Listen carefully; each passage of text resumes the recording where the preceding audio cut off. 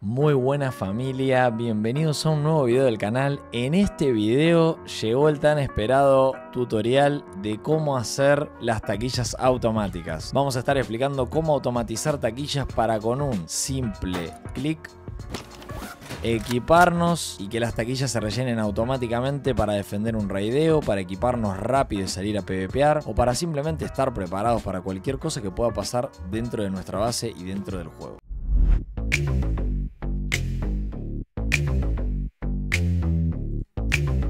Hola familia, bienvenidos a un nuevo video de Rust. Lo primero que necesitamos para preparar las taquillas automáticas de nuestra base es obviamente, como siempre, tener una base, una base cómoda, una base para jugar chill. Vos con tu dúo, con tu trío, con tu team de leechers o simplemente solito, si te gusta jugar solo player. En esta base, lo primero que tenés que tener para hacer tus taquillas automáticas es loot, obviamente. Tenés que tener cofres con armas, tenés que tener equipaciones, tenés que tener unas tomis, unas sacas, si es que te estuvo yendo bien en el wipe. Yo acá preparé un poco de equipaciones, meds, tela, walls, unas tomis, unas sacas, unos full HQs y unos equipos con hasis. Y voy a estar explicándoles cómo hacer que estas habitaciones, que ya están preparadas con sus camas y con sus taquillas, se rellenen automáticamente para poder salir a PvPear o para poder defender un raideo en caso de que nos vengan a querer hacer un agujero, un boquetón acá al lado de la base y robarnos todo. Lo primero que necesitamos para hacer las taquillas automáticas de nuestra base, obviamente son taquillas, claramente, ¿no? Y lo segundo que necesitamos son todos los elementos eh, eléctricos y de automatización para poder automatizarlas.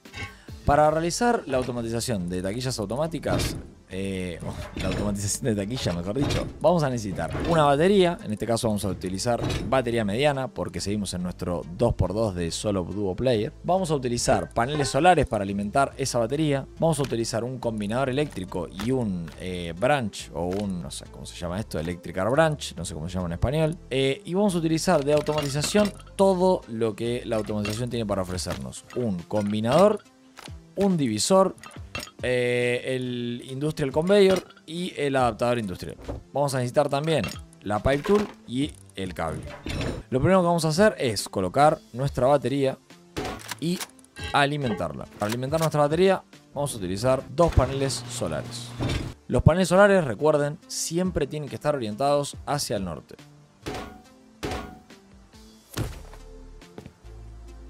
Para conectarlos vamos a utilizar el combinador eléctrico. El combinador eléctrico tiene dos power in y un power out. El power in es el que vamos a utilizar para conectar los paneles.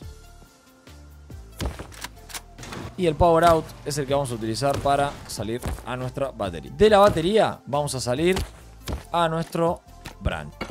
Y este branch lo vamos a alimentar con dos, que es lo que viene por defecto. Vamos a colocar ahora nuestros conveyors. Uno y dos.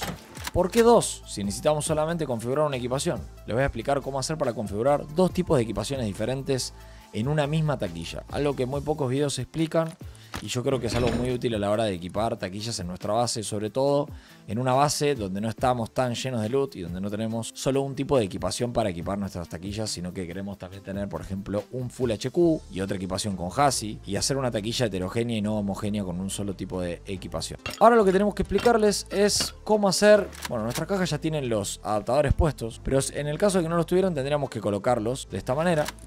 Voy a explicarles cómo salir del loot y combinarlo para traerlo a los conveyors.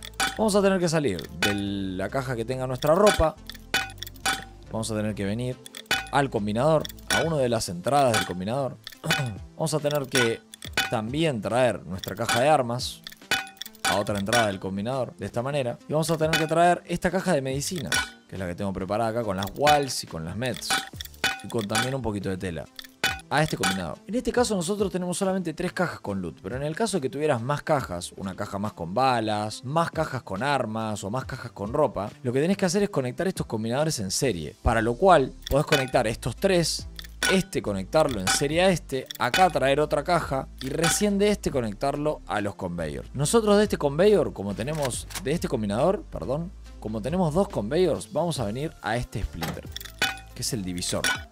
Vamos a ir al, al, al Industrial In, que es la entrada. Y de una de las salidas vamos a ir al In del conveyor. Y del otro, de la otra salida, vamos a ir al otro in. De Ahí ya tendríamos toda la conexión hecha. Yo acá puse dos para explicarles cómo extender la conexión. En realidad nosotros en este caso no lo necesitamos, pero lo hice para explicárselo. Ahora ya tenemos eso conectado. Necesitamos ahora alimentar los conveyors. Está alimentado uno. Y desde el pass-through pass-through, alimentamos el segundo. Una vez que tenemos alimentado el segundo, toca configurarlos. Así que vamos a configurar el primero. El primero lo vamos a configurar con el kit simple, el kit de Hazmat. Vamos a seleccionar el Hazmat y le vamos a poner cantidad 1. ¿Por qué? Porque queremos que nos traiga un solo Hasi, si no nos va a traer un montón. Vamos a configurarle el Hasi, la Tommy, las balas de la Tommy, que pueden ser 80 balas, y vamos a configurarle Mets, pueden ser 6 Mets en este caso, puede ser un poquito de tela y pueden ser un par de walls. Un error muy común que yo le estoy cometiendo en este caso es nos pasamos de slot. La taquilla para equipamiento tiene 7 slots de ropa, que en este caso vamos a utilizar solamente uno, y tiene 6 slots de equipamiento, es decir, de armas, balas, etc. 6 slots, que son los 6 slots que tenemos en el cinturón de nuestro personaje. Y en este caso estamos utilizando 7. ¿Por qué? Estamos utilizando uno para el arma, otro para la bala, tres para las, las meds y dos más para la tele y para las barricadas. Con lo cual sería prudente ponerle 4 meds en vez de 6 para que pueda ir un poquito de tela. Una vez que tenemos todas las cantidades puestas, 80 balas, 4 meds, tenemos que darle a aplicar. Y una vez que tenemos esto, podemos encender el conveyor, ir con el tubo a nuestra taquilla. Tenemos que poner tenemos que poner los adaptadores. Para, para, para. ¿Todavía no estás suscrito al canal? ¿Qué estás esperando? Ayúdame con una suscripción, con un me gusta si te viene gustando este pedazo de video. Seguimos. Y ahora sí podemos ir con el tubo.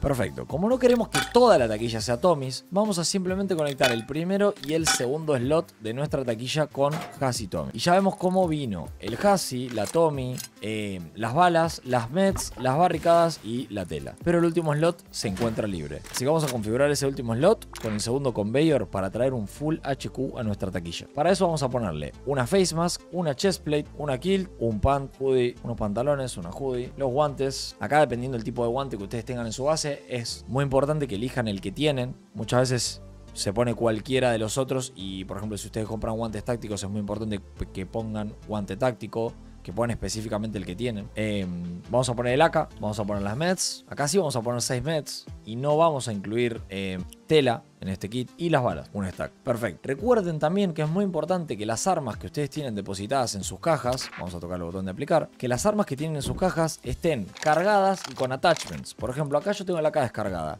El AK cuando está descargada en la caja va a ir siempre descargada la taquilla, lo cual puede hacer que a la hora de equiparse pierdas un poquito de tiempo o también te pase que este stack que se va a ir a la taquilla de balas no sea un stack porque vas a perder balas a la hora de recargar. Yo recomiendo que todas las armas que estén en las cajas estén reparadas, recargadas y con los attachments que cada uno eh, le guste tener en las armas. Vamos a prender este conveyor y vamos a ir a la taquilla.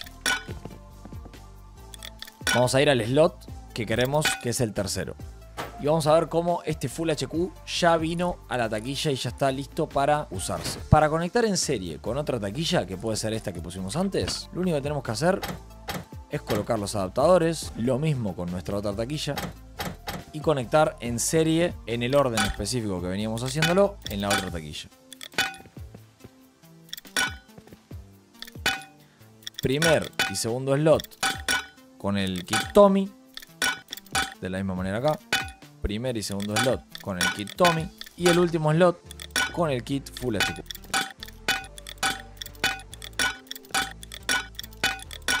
Y ya vemos cómo las tres taquillas que tenemos conectadas en nuestra base están completa y totalmente automatizadas. Una recomendación, aparte de, de, la recomendación de los attachments y de las armas recargadas y reparadas, que les doy es que todas las taquillas tengan codelock. En este caso ya no les puse, pero todas las taquillas tienen que tener codelock. ¿Por qué? Porque en el caso de que nos vengan a raidear, rompan esta pared, va a venir una persona y va a hacer así, y va a lootear un AK, y va a esperar, y va a lootear otra AK, y va a esperar, y va a lootear otra AK.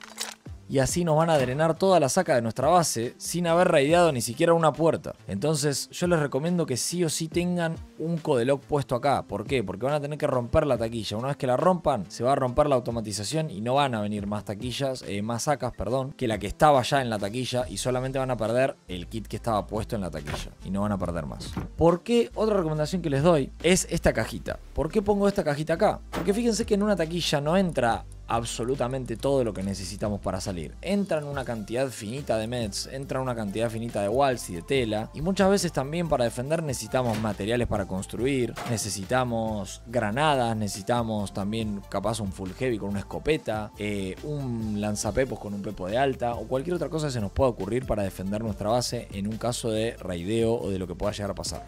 Siempre recomiendo tener esta cajita en cada cuarto que se armen ustedes para una defensa. Y en esta cajita pueden, eh, también la pueden automatizar para que puedan venir granadas automáticas o pueda venir lo que ustedes necesiten. Pero más que nada recomiendo tener esta cajita para poder, por ejemplo, agarrar y decir, che, mira, voy a agarrar para salir rápido y de esta taquilla voy a sacar esto y lo voy a dejar ya preparado acá.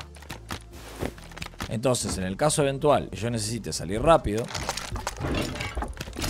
en el hipotético caso que yo estuviera naked, ¿no? Y yo necesite salir rápido, hago esto, hago así, hago así y me fui. Y es mucho más rápido que estar looteando el kit y looteando las meds y esperando que se rellene para volver a lootear esas meds. Es bastante más rápido.